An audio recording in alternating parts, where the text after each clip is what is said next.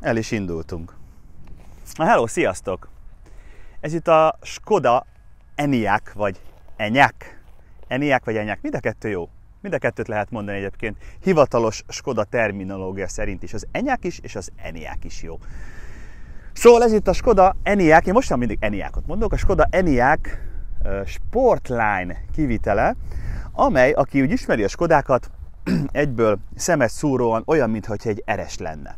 Ugye ez, ez az eres kék, a kodiák eres is hasonló színben pompázott, az ülések is egy kicsit hasonlítanak a kodiák eres üléseire, meg az egész autónak a karaktere egy kicsit feszesebb a dolog.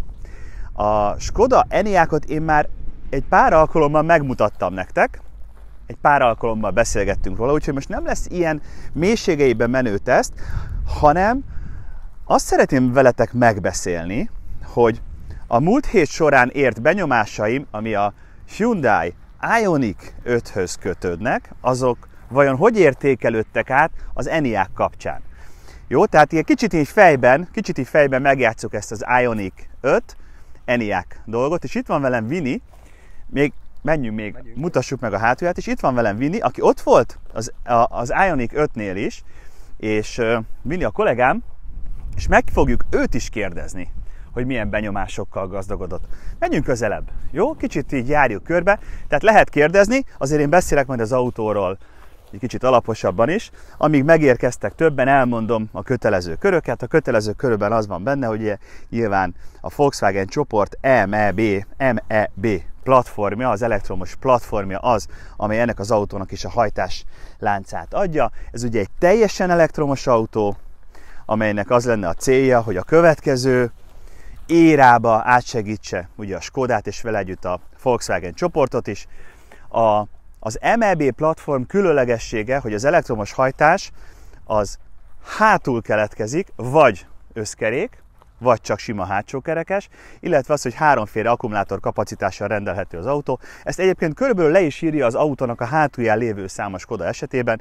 Ez a 80-as, azaz a legnagyobb akkumulátor, ami nettó 77 kWh valójában van, a 60-as, ami 58-as valójában, és van az 50-es, ami 52-es valójában, jó? Tehát a struktúráját az autónak így tudjuk megítélni, és szoros rokonságban áll az ID3, ID4-jel.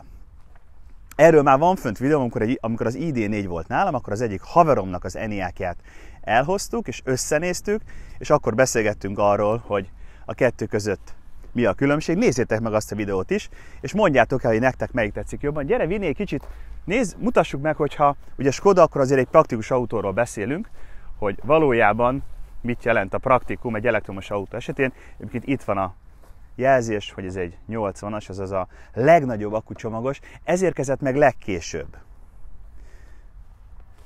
80-assal hivatalosan 520 kilométer a hatótáv. Hát ez egy hatalmas csomagtér, hogyha fölnyitjuk, és a Skoda itt is folytatja a Simply Clever gondolatsort, kihajtható zacskótartók,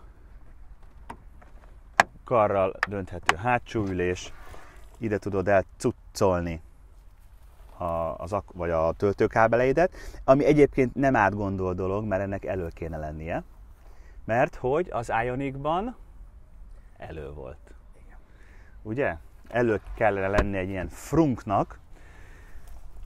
Kellemesen nagy a tér, úgy, hogy itt azért itt van a hajtás, ami a hátsó kerekekre jön ki. Ebben az autóban csak hátsó kerékhajtás van pillanatnyilag a dobfékeken át. Igen, dobfékek, ezt is megénekeltük már egy párszor.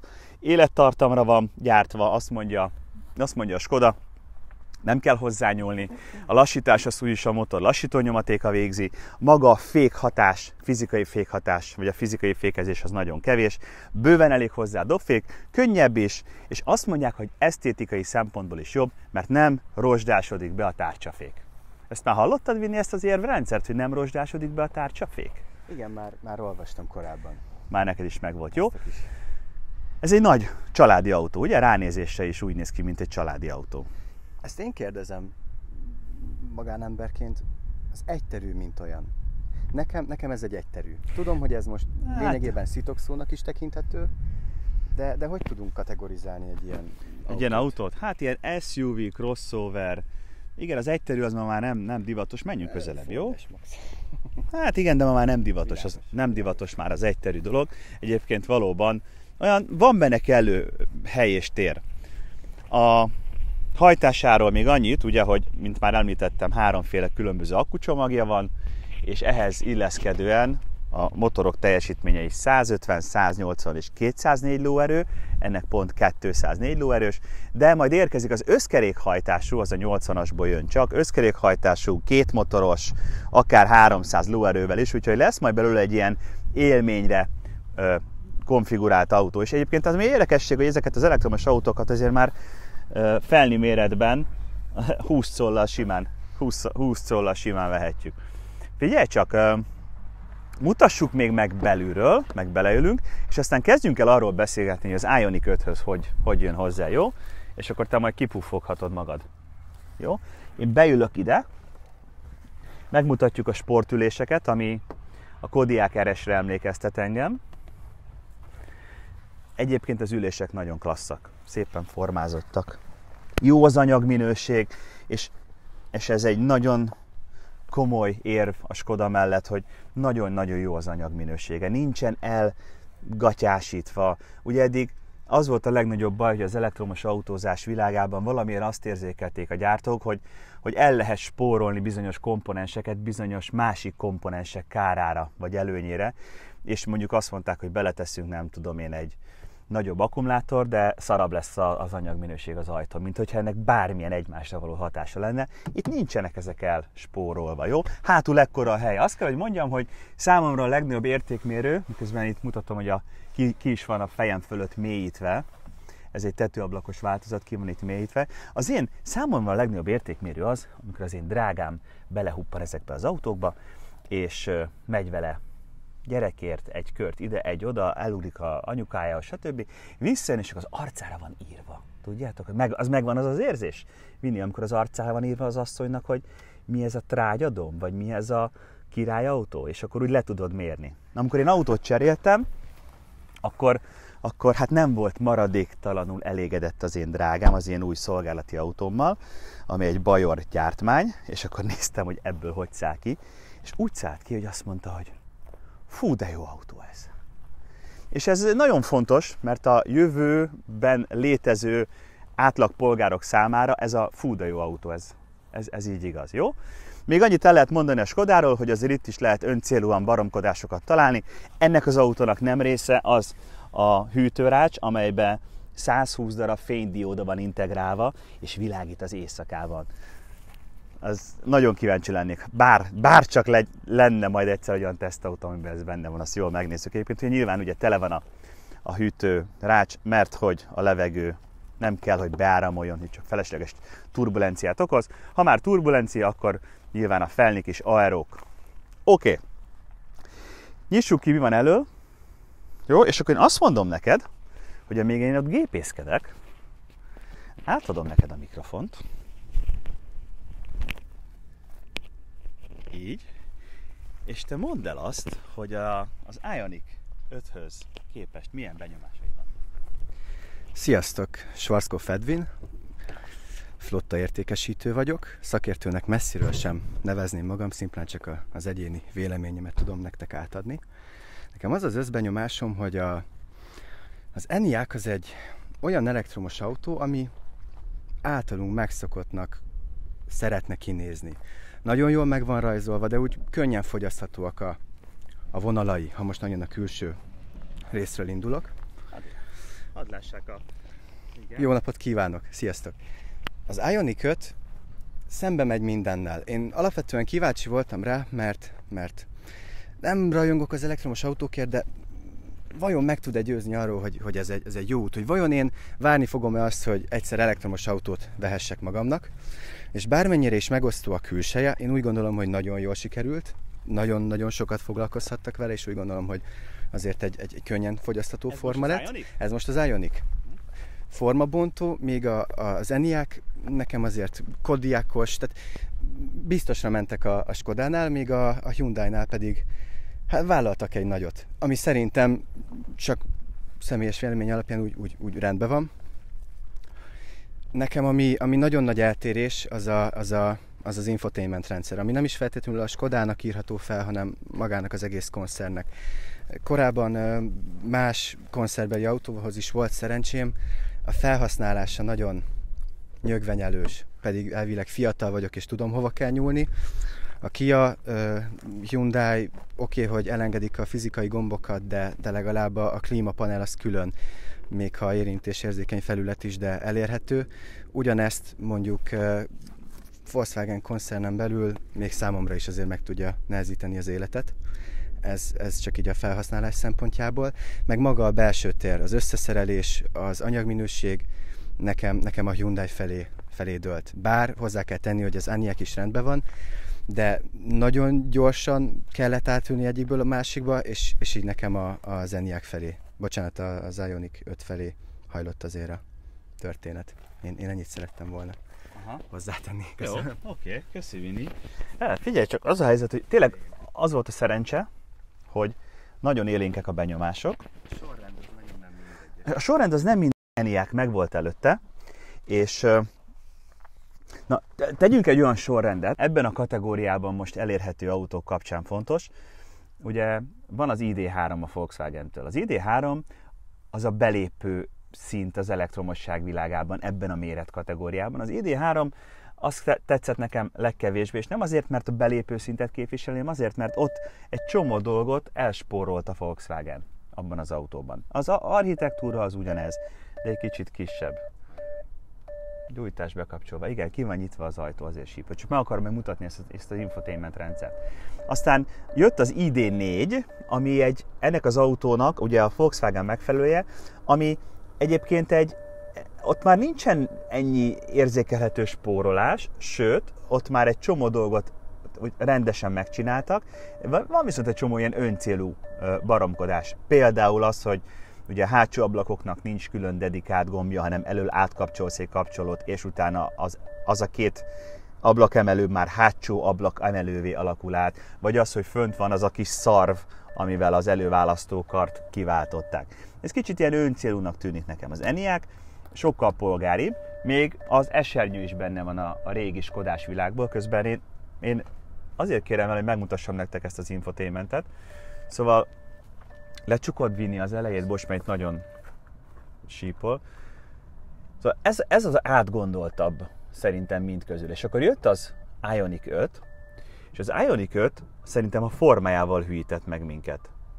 Tehát az Ionic 5 az olyan volt, hogy megnéztük, és azt mondtuk, hogy úristen, azt a rögtön az elején maga a forma, az teljesen ö, elvitt mindent. Ez a 70-es évekbeli szögletes. Miért sípolsz, édes drága szívem? Jó, most már nem sípol. Szóval az Ionic 5-nek elvitte a, a, a sót rögtön a formája. Ugyanúgy hátsó kerékhajtású az Ioniq 5, mint ez. Körülbelül hasonló a teljesítménye, hasonló akkumulátor szint elérhető el, és mint ahogy ez is, az Ioniq 5 is 15 milliótól indul, ez a Skoda is a legkisebb akkumulátorcsomaggal, a legkisebb motorral, ami 150 lovas, szintén ilyen 14 millió valamennyitől indul, tehát az árazásuk össze van lőve. Ez így, amit láttok, ez a 80-as változat, a, a hátsó kerékhajtású 204 lóerős akkumulátorral, ez 20 millió forint és ez benne a sok egyedül. Mert hogyha azt mondom, hogy 11 kW-os fedélzeti töltő, és hát mondjuk e- ezt még szintén kritikaként meg lehet fogalmazni azért, hogy alaphelyzetben a DC töltés 50 kW-tal működik, még, még, a nagy, ö, még a nagy autóknál is fizetni kell külön azért, hogy 125 kW-os legyen a DC töltés. Ebben mondjuk jobb az Ioniq 5. Na de azt akartam csak kihozni belőle, hogy az Ioniq 5 nagyon elvarázsolt minket. De ahogy átültem ebbe a sportlányba, én egy kicsit úgy éreztem, hogy hú, várjál, itt ez visszakompenzált. Kicsit, kicsit billegteti vinni a fejét, de én úgy éreztem, hogy visszakompenzált, mert hogy ez, ez, ez így, ez a sportlány, ez szerintem nagyon rendben van. Az alapmodellek nyilván ott alapmodellben ültünk, és alapmodellel kéne összehasonlítani, lehet, hogy kartosabb lenne. Nekem ez a nagy kijelző, bár voltak benne esetlenségek, de azért nem volt annyira ügyetlen. Mondok azért hülyeséget benne, figyelj, ja, ez most így, igen. Auto, autóholdot, na, Nem, nem emlékszem autóholdra. Nem emlékszem. Nem tud egy pedálos vezetést, viszont nagyon tetszett az automata rekuperációja. Tehát amikor ő a domborzati viszonyoknak megfelelően saját maga állítgatja a motorfék erejét, és ez, és ez nagyon jó. Azt akartam mondani, hogy ilyen hülyesség van benne, figyelj, hogy amikor töltöd, akkor ezt, nézd, kilométer per perc, vagy kilométer per órát ide ki, ír ide ki. Ezt tudod, tudod mire van, hogy a töltéssel egy perc alatt, vagy itt egyébként, amikor töltöttem, kilométer per óra volt, egy óra alatt hány kilométer tudsz beletölteni. Tehát nem azt írja, hogy 11 kilovattal töltöd, vagy 50-nel, vagy 80-nal, hanem ez egy logika, nekem pont nem jó ez a logika, mert én azt szeretném látni, hogy hány kilovattal tölti. Na, minden esetre egyébként működik ez a rendszer, egy, egy kicsit valóban nehézkesebb, vagy annak tűnik, mint, a, mint az Ionic volt, viszont szerintem valahogy szemre tetszetősebb ez, ez a rész. Nem értesz velem egyet? Fene se tudja. Annyira megosztó, és, és nem is kell ezt eldönteni. Én Jó. jó. jobban szeretem, amikor, amikor be van építve. Na figyelj csak, csináljunk olyat, hogy vezet, vezetjük, jó? Hogy ide te beülsz, átadom neked a mikrofont, mikrofon. és akkor lő mikrofon, és akkor vezessük egy kicsit.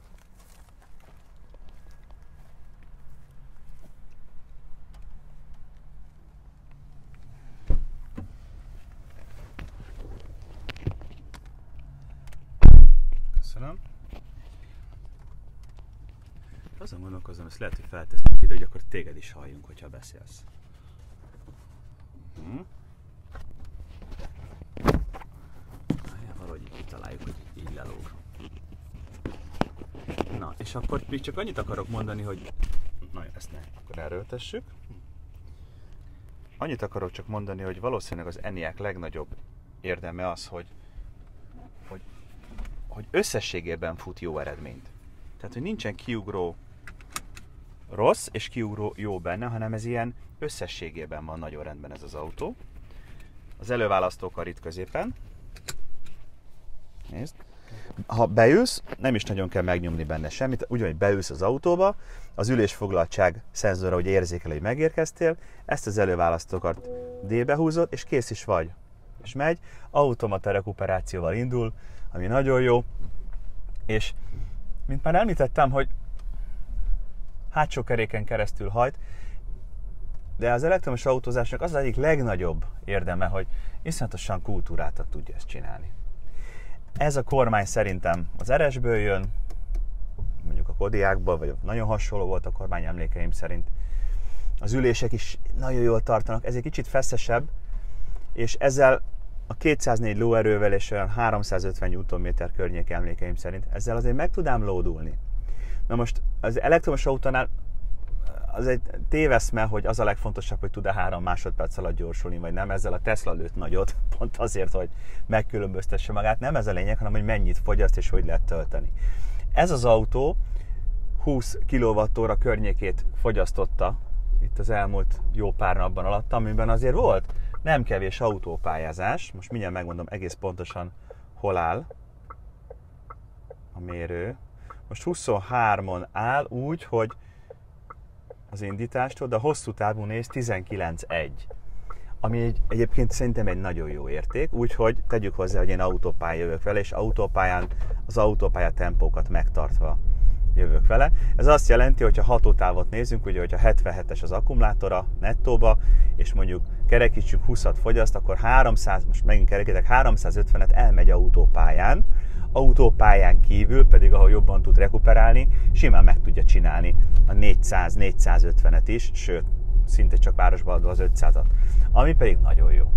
Van hozzá egy olyan töltő, ami nekem nagyon tetszett, arról külön csinálok majd egy kis anyagot is, amivel ugye ezt a vésztöltő, amikor a 220-ba dugod az autót, de annak a, a 220-as oldala az cserélhető, és ipari áramra, háromfázisúra rá tudod dugni erre a pirosra, és nekem otthon van ipari áramon, vagy van ez a három, nem tudom most hogy hívják, ipari áramnak hívják-e, van ez a háromfázisú piros csatlakozom, és kicseréled a dobozon, a töltő csatlakozón a villásdugót, erre a másik dugóra, érzékeli, hogy ez most nagy teljesítményű töltés lesz, és akkor 11 kW-tal tölt. És az már, az már nagyon fan otthonról, tehát nem kell külön töltőoszlopot venni hozzá, vagy ilyen fedélzeti töltőt, vagy otthon csinálni ilyen kiépített fali töltőt. Mert egyébként 250 ezerért azt hiszem tudja ezt a töltőt. Na, de ha odalépsz neki, azért Vini, ez megindul, nem? Sok kérdés. nem? És a fék, kiengedjük a buszt. A fék, az pedig... A, na, a fék! Az ID3-at is és az ID4-et is azért ekésztem, mert változott folyamatosan a nyomáspontja a féknek. Érdekes módon most arra le tudták programozni a mérnökök, hogy az Enyaqban nem változik a nyomáspontja a féknek. Na hát, hogy mik vannak. Szóval ez egy olyan családi autó, amiben egyébként én holnap szívem szerint átülnék, vagy ha azt mondanák, hogy ülj át bele, nem lennék szomorú. Egyetlen egy bajom van vele, az ára. Ez ma még mindig annyira réteg termékként van árazva, hogy 20 millió forintért egy ilyen autót megvásárolni. El tudom képzelni természetesen, hogy a, a hosszú távú költségei majd szépen elkezdenek ö, ö, közelíteni az olcsóbban vásárolt belső égésű autóval szerelt, vagy belső égésű motorra szerelt autókéhoz, de ez ma akkor is nagyon sok pénz. 14-15 ér kapod az alapváltozatot, amihez ha éppen szerencsés vagy van kedvezmény, vagy állami támogatás, és akkor leesik belőle mondjuk két és fél millió forint, ott el tudom képzelni már. További nagy kérdés, hogy melyik akkumulátorral kéne menni. Ugyanis, hogyha azt mondod, hogy 80-asra mész, megkapod a legnagyobb hatótávolságot, de ha városba közlekedsz vele, akkor feleslegesen cipel 120-150 kg pluszt. Tehát romlik a fogyasztásod és a hatékonyságod. Úgyhogy nem biztos, hogy a legnagyobb akkumulátorral kell venni, lehet, hogy a 60-assal. Ugye? Vini úr, milyen benyomásai vannak még, miközben elmondjuk azt azért, hogy itt vannak valódi fizikai gombok, amit nagyon szeretünk, a hangerő az viszont már csúszkán változik, akár csak a napfénytető elhúzása is csúszkával történik. Miről beszéljünk még? Van kérdése valakinek? Tudjuk, hogy korán van. Kérdés az nem volt. Na korán van még, igen, reméljük majd később is meg ö, oda keveredtek. Ami fontos, hogy egy, szinte majdnem pont egy hónap múlva megyek megnézni a Kia EV6-ot, ami az Ioniq 5-nek lesz a tesója, és ö, akkor egy újabb, megint egy újabb szereplőt fogunk tudni felrakni a térképre. Az biztos, hogy jelenleg ma az ENIAC egy nagyon jó választás. Nem véletlen azt, hogy azért a, a taxis kedvezményben sokan rámentek erre az autóra.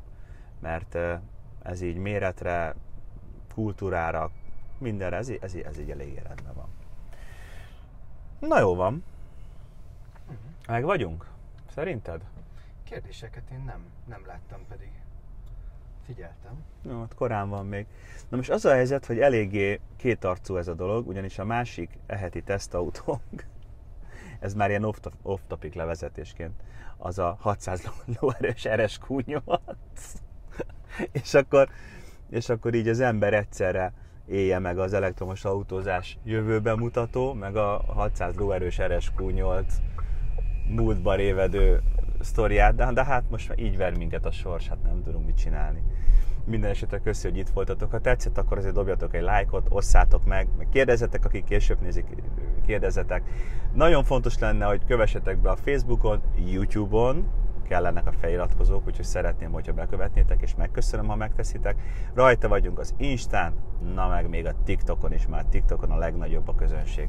Úgyhogy köszönöm, hogy itt voltatok most is, köszönöm a támogatást, Vini úrral és a, az Eniákkal búcsúzunk. Szevasztok! 哈喽哈。